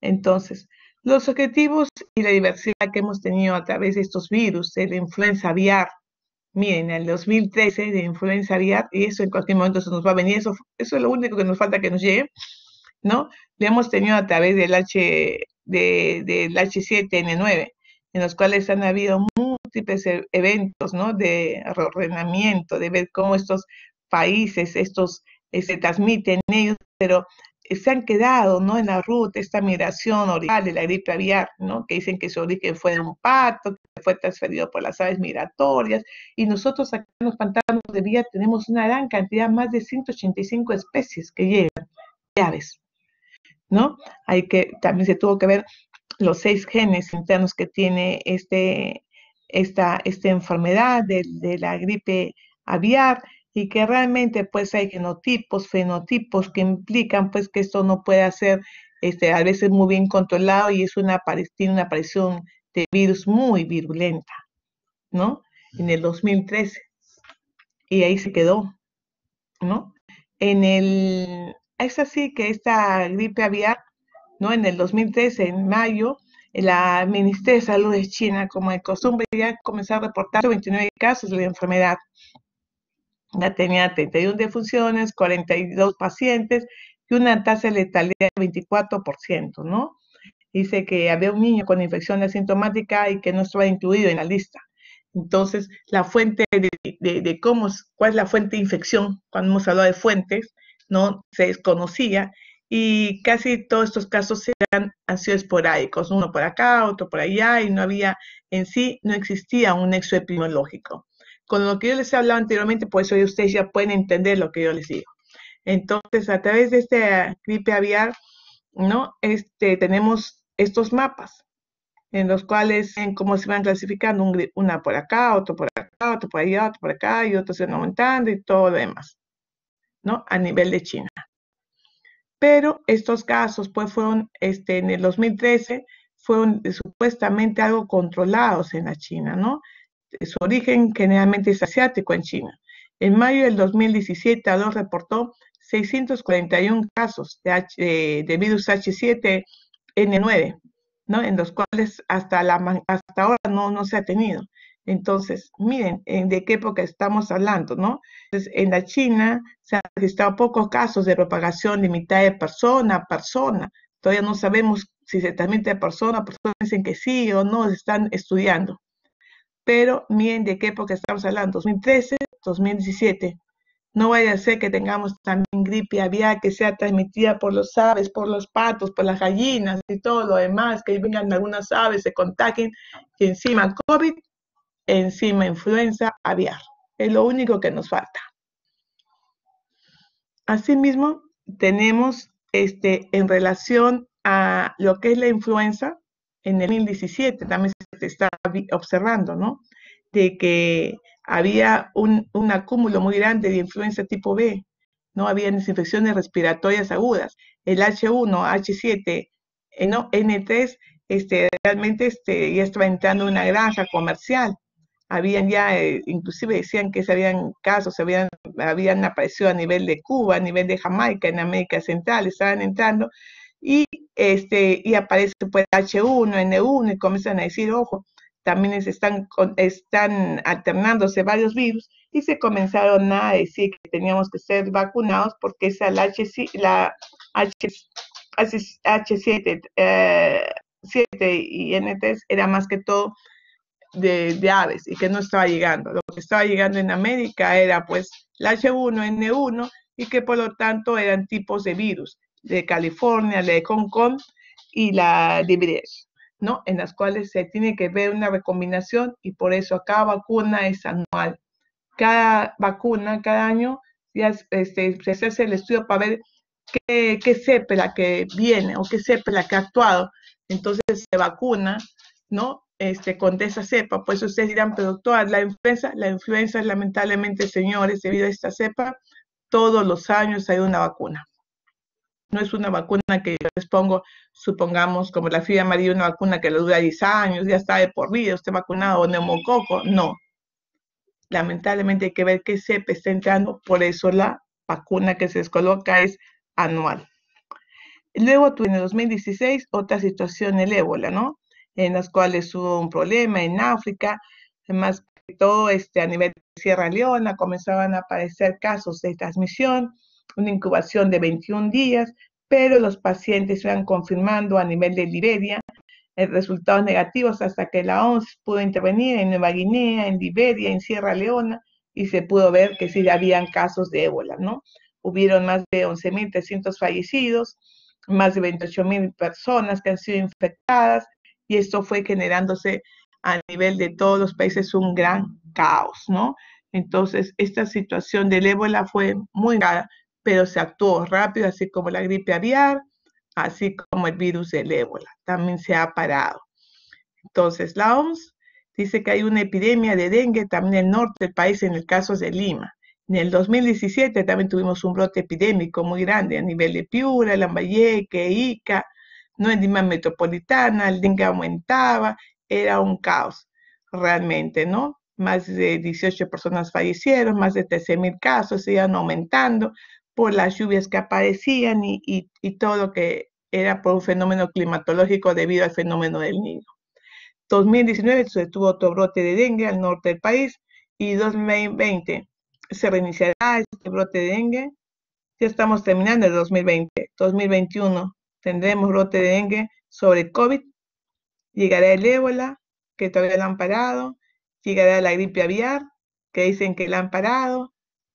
¿Cómo estamos? Hasta que en este año 2020, a, a fines del 2019, tenemos el primer caso notificado. La primera vez que Wuhan dice, ojo, tenemos coronavirus y de coronavirus se detecta al COVID-19, que es una enfermedad infecciosa causada, que fue recientemente descubierta y es una enfermedad emergente, ¿no? Entonces, la mayoría de personas infectadas con COVID representan una, una infección respiratoria leve, que otras pueden ser muy graves y fatales, más aún si esas enfermedades, existe enfermedad, ataca a una persona que tenga comorbilidad, ¿no? Aquellas que son asmáticas, que tengan cáncer, inmunodeficiencia, que tengan diabetes, que tengan hipertensión u otras enfermedades, ¿no? Entonces, la probabilidad de desarrollar enfermedades graves son si siempre y cuando una tenga comorbilidad o una enfermedad cardiovascular o crónica, o depende también de la susceptibilidad de la persona, porque hay jóvenes, hay niños que han fallecido por el coronavirus. Entonces, el COVID 19 ya sabemos cómo se transmite por las gotitas de flujo, de saliva, se transmite de persona a persona cuando está tose, cuando habla, a través de los fomites, y lo único que se tiene que tener es el distanciamiento, el uso de las brillas, el protector facial o la careta facial, y estamos a la espera de qué? De la vacuna, ¿no? Para poder cortar esta cadena epidemiológica. ¿no? Estamos en la vacuna, que la prueba serológica no es buena, que lo molecular se tarda mucho, que qué prueba usamos, y comienza este problema a nivel de los, los famosos WhatsApp, del Instagram y todo lo demás, que comienzan a hablar de que, eh, que no es un virus, fue creado por un laboratorio, que, que realmente el tratamiento no es el adecuado, que ya no hay acitromicina, que que la ivermectina ya no sirve, que hay que usar el otro, usen el ibuprofeno, total que estamos en un estudio sobre una enfermedad que realmente ha azotado una gran pandemia y que realmente muchos países están en esta zozobra, ¿no?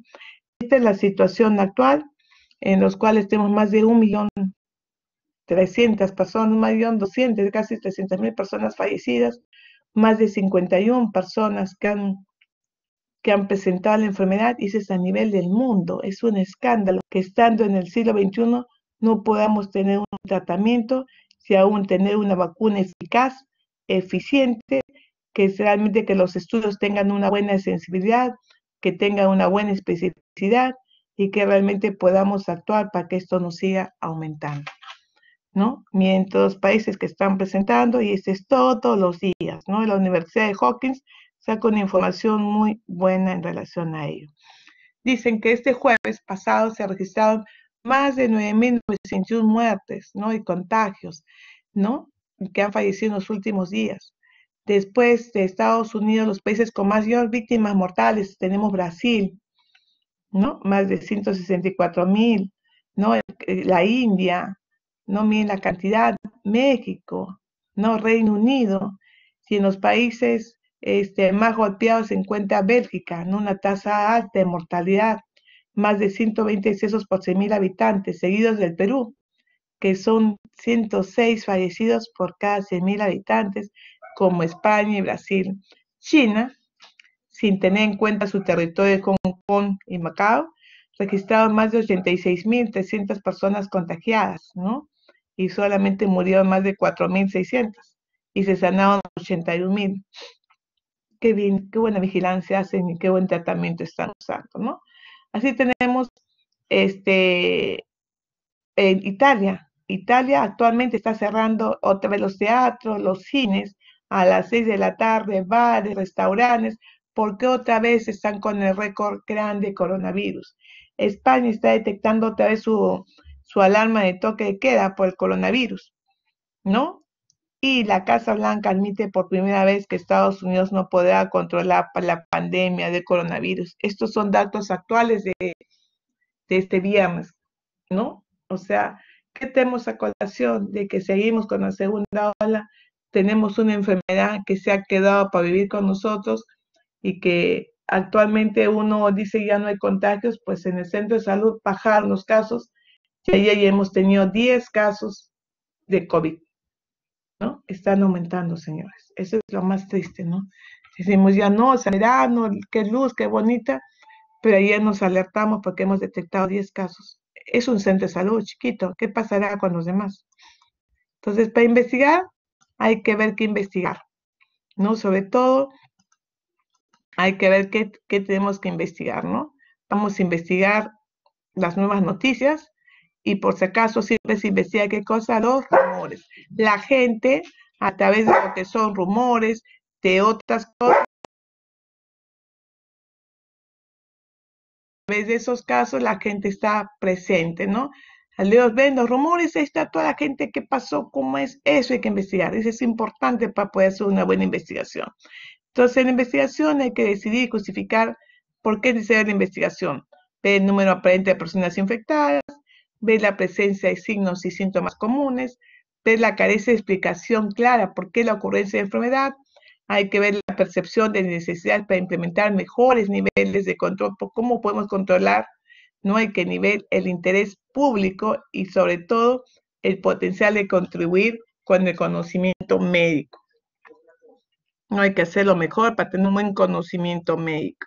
Entonces, hacemos un esquema de procedimiento para poder investigar epidemias, determinar la naturaleza del problema, diagnosticar la enfermedad, la ocurrencia del brote, diagnosticar la epidemia, ver cuántos casos notificados, cómo se están distribuyendo, compararlos, ver la característica, cómo se presenta la enfermedad a través del tiempo, lugar en qué personas, formular hipótesis y realizar, por si acaso, estudios, como son casos y controles, ver las exposiciones y analizar los resultados de investigación y preparar un informe para hacer una investigación de campo.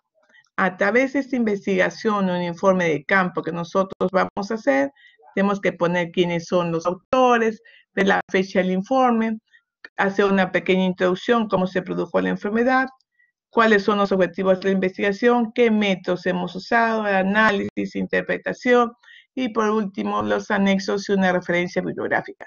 Entonces, como verán, un esquema de informe epidemiológico de brote es prácticamente como un trabajo de investigación. Pero también, ¿cómo mido un brote? ¿No? La, para medir un brote se utiliza la mejor tasa, una tasa hacemos una tasa o una medida cuantitativa de extensión. Para yo medir un brote que mido, mido mi tasa de ataque. Al medir mi tasa de ataque, esa se refiere cuántos casos nuevos hay sobre toda mi población de riesgo. Esa es la mejor tasa que se utiliza para hacer la medición de un brote epidemiológico. Es una tasa sencilla, número de casos nuevos sobre todas las personas en riesgo multiplicada por 100. ¿No? Entonces, los profesionales de la salud, en especial los médicos, estamos buscando tener un diagnóstico definitivo. El por qué, ¿no? El por qué viene la enfermedad, cuál es el motivo, cómo se pueden aplicar o cómo se aplican una serie de diferentes pruebas, cuáles son las pruebas de diagnóstico, cuáles son los trabajos de ensayo para las vacunas y lo más factible es poder ver, ¿no? Aquella persona que esté enferma, verla, verla rehabilitada, curada, si el personal de salud ve que su trabajo realmente ha sido efectivo y que esa paciente se va de alta tranquila. Y por supuesto, este, este es el trabajo que hacíamos con nuestros alumnos, ¿no? En relación de que ustedes miran, sí, doctor, está con sus cucharones, dónde se van? Pues en esa época estábamos en el puesto de salud Tupac Amaru de Villa, donde los alumnos salían a dar las charlas sobre lo que es el dengue, a buscar con sus cucharones, meter, este, introducir donde habían depósitos de agua, sanzones, hay acúmulos como unas pequeñas piscinitas de agua, pozas de agua, y buscar la larva, la pupa, o el, ¿no? o el dengue, o el Aedes, a ver si están infectados con dengue. Sacábamos, íbamos cada uno, casa por casa, a poder, eh, poder buscar y ver si esa zona estaba infestada o no con el vector que se llama Aedes y poder eliminar lo que es la transmisión del dengue. Muy bien, señores. ¿Alguna pregunta hasta ahí? Sí, doctora, yo tengo una pregunta con respecto a la última foto. Y bueno, aparte, ¿no? De, ¿usted cree que el otro año, doctora, sea de manera presencial las clases? Porque hay muchas cosas que nos estamos perdiendo, como esa vivencia que se ve en la foto. Sí, pero sobre todo está la salud de ustedes. ¿no? Actualmente, un ratito, un segundito, por favor, un segundito.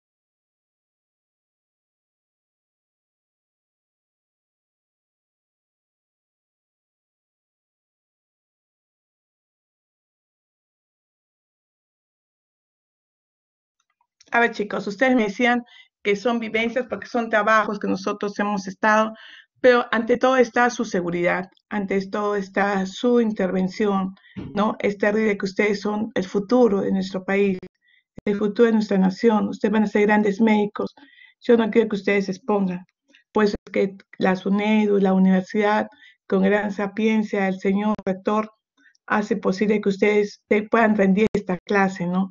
Esta clase a nivel virtual.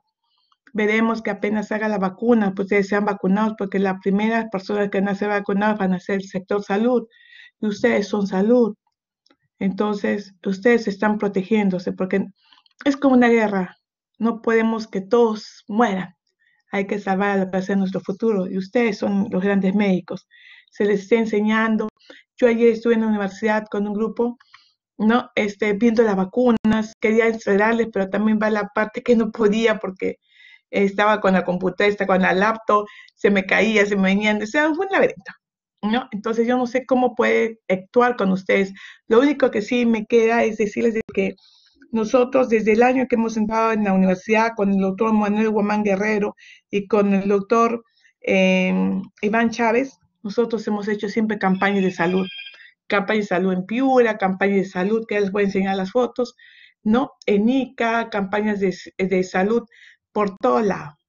Y siempre cuando participo, pido a ustedes que vayan conmigo.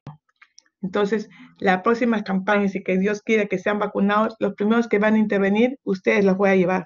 Nos iremos a Piura, y hemos ido tres veces a Piura, nos hemos ido a Ica, ¿no? Y inclusive acá nos hemos ido a, a Portal Manchay, nos hemos ido a varios sitios, ¿no? Inclusive hemos entrado hasta los penales con los alumnos, hemos hecho campañas ahí, hemos entrado a Santa Eulalia.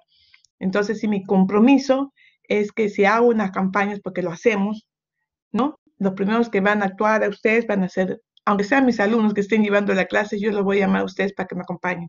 Y generalmente ese es un sábado, un domingo, o son cuatro días que tenemos y y lo único que, espero es que ustedes participen.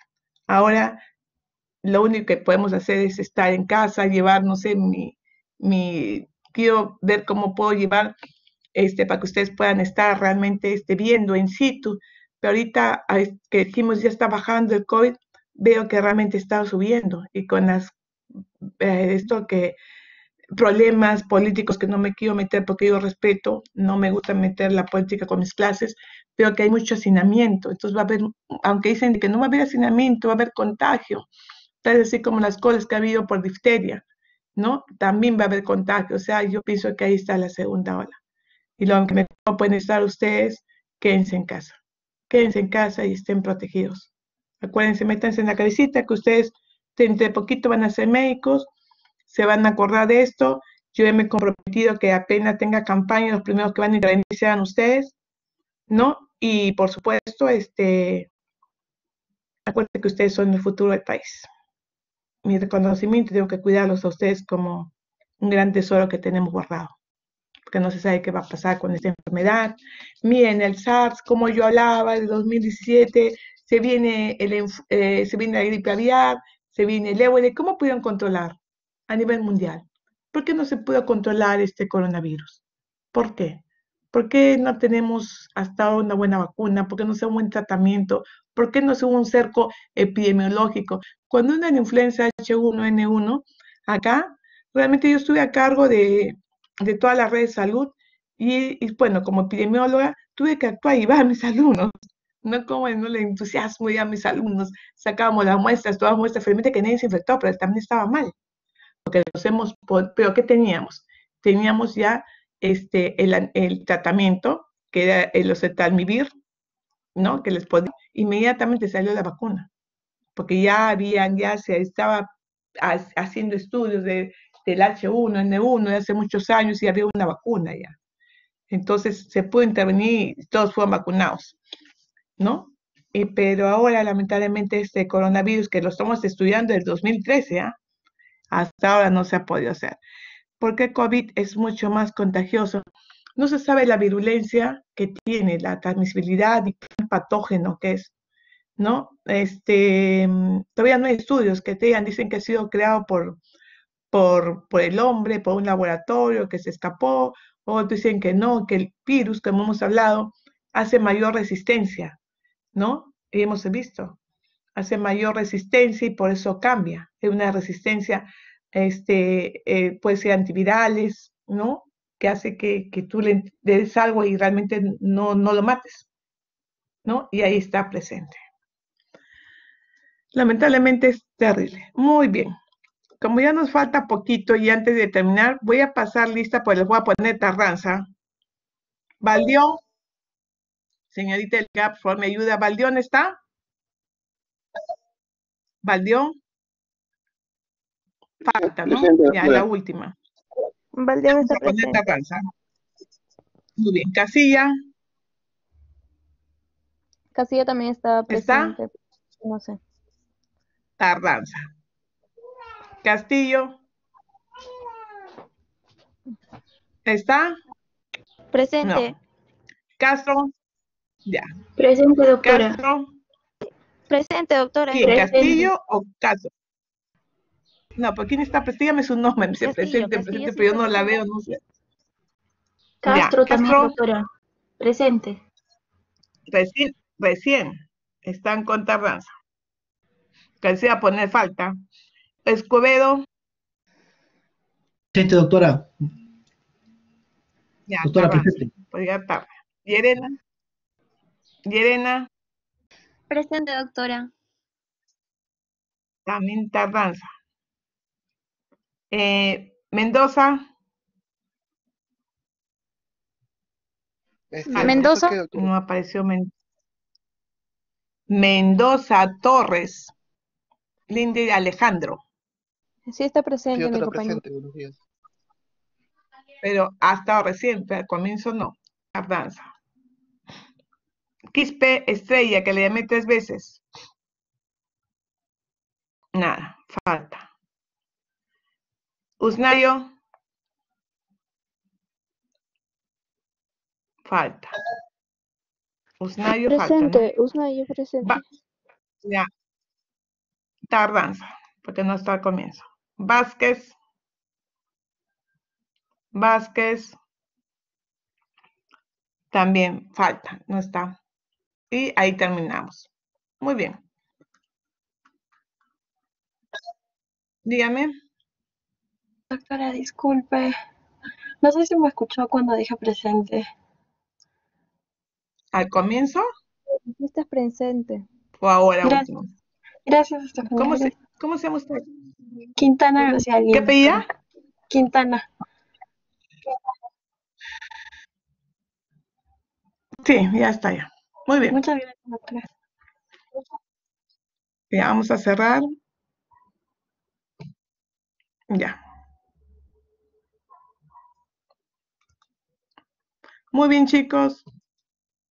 Gracias por todo. Nos vemos la próxima semana. Así que traten de tomar su carro temprano, salgan de su casa temprano y vayan a sentarse a su, a su computadora, a su laptop temprano.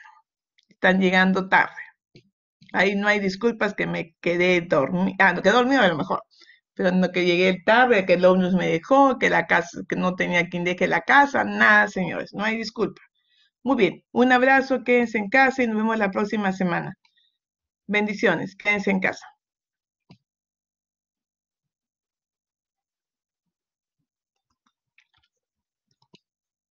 Hasta luego, hasta luego, Jorge. Hasta luego.